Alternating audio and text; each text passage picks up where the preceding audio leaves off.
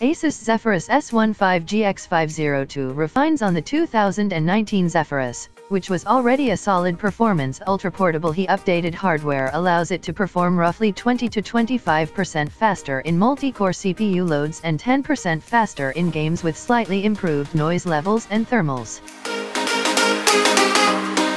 The 2020 ROG gets a 300Hz SCREE a more capable 8-core Intel 10th Gen processor, faster 3200 MHz DDR4 memory and RTX 2080 Super graphics which can run at up to 105W on the most powerful performance.